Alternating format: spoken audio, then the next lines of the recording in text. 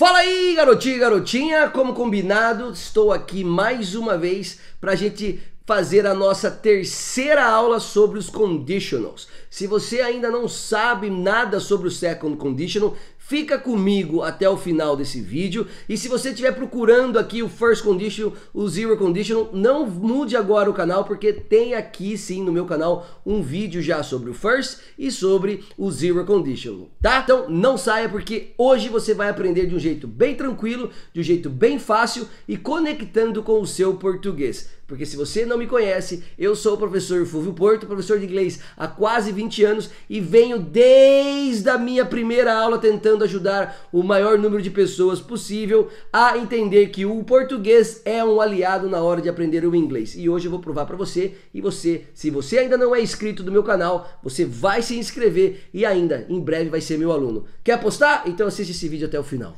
Muito bem, depois de te desafiar a assistir esse vídeo até o final, que por sinal tem um presentão para você no final desse vídeo, tá? Eu quero falar duas coisas para vocês. Primeiro, tudo que você for aprender no inglês com base na gramática é muito mais fácil quando você conecta com o seu português. É muito mais fácil você ter de onde comparar. Tira essa coisa da cabeça você ter que pensar em inglês. Com o tempo de tanto você estudar, de tanto você praticar, de tanto você praticar e fazer aula, e fazer vídeo, e fazer série, e fazer. E tudo isso que você tem que fazer, que todo mundo fala pra você fazer, você tem que fazer, você vai conseguir raciocinar e traduzir mais rápido, dando aquela impressão de que você está pensando em inglês. Beleza? Então vamos lá.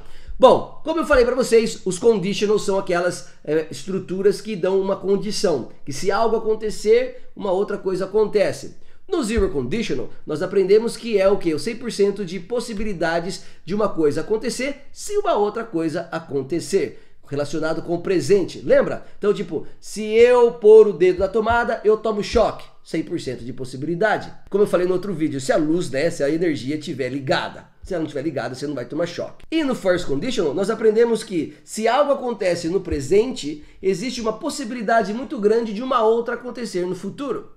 Se eu for para o Brasil, eu visitarei os meus amigos. Aí você vai falar assim para mim: Nossa, era só isso mesmo? Falei: É, é só isso mesmo. E nessa terceira aula, no Second Conditional, a ideia é a mesma. A gente tem que conectar com situações do nosso dia a dia. E o Second Conditional vai estar conectado com algo que você imaginaria que aconteceria. Então, a ideia do Second Conditional é essa. Se algo acontecesse lá no passado, uma outra coisa aconteceria no futuro. Então, fica algo como se fosse uma suposição. Você estivesse supondo: se eu estudasse mais, eu falaria inglês melhor. Se eu guardasse dinheiro, hoje eu poderia comprar meu carro. Se eu gastasse menos, eu teria mais dinheiro hoje. Essa é a ideia do second conditional, de você conectar com algo no passado que você acredita que seria diferente no futuro. E como é que a gente faz isso gramaticalmente? A gente vai usar a estrutura if mais a frase no passado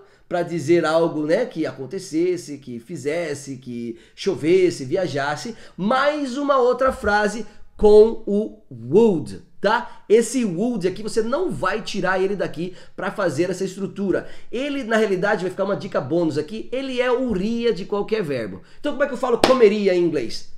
Would eat. Como é que eu falo beberia em inglês? Would drink. Como é que eu falo ganharia em inglês? Would win. Como é que eu falo eu uh, viajaria? Would travel. E aí você começa a construir essas frases. Lembrando que neste caso do would, você também pode usar o could nessa estrutura. Então, vou colocar aqui de novo aqui, ó, para vocês, ó, o if mais o passado mais o would barra could, que o could tem a ideia de poderia, tá? Então, vamos a alguns exemplos aqui. If I studied more, I would speak English better.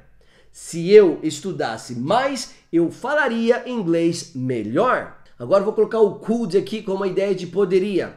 If I studied more, I could speak English better. Se eu estudasse mais, eu poderia falar inglês melhor. Simples, é só isso.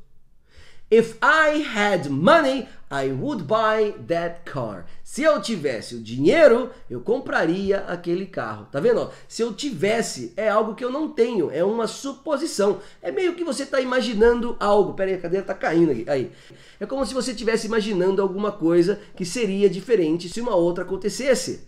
Beleza? E outra coisa legal também que acontece, que se você colocar o verbo to be, vou dar uma dica para vocês, mas não quero entender o porquê. Coloque were. If I were, sempre if I were, if you were, if he were, para todas as pessoas e você não vai errar. Se você quiser saber mais o porquê eu coloco were para todo mundo depois do if, coloca nos comentários aqui que eu faço um vídeo só disso, tá? Mas é bem simples, é só para o vídeo não ficar muito longo. Então é if I were you, se eu fosse você, I would study more. If I were you, I would subscribe to my channel. Se eu fosse você, eu me inscreveria no meu canal. If mais uma frase no past, no passado, com a estrutura do passado. Se for verbo regular, você põe no ed. Se não for, se for verbo irregular, tem que tentar lembrar qual que é o verbinho no passado. Mais o would antes de uma próxima ação ou o could. E você encerra o second conditional.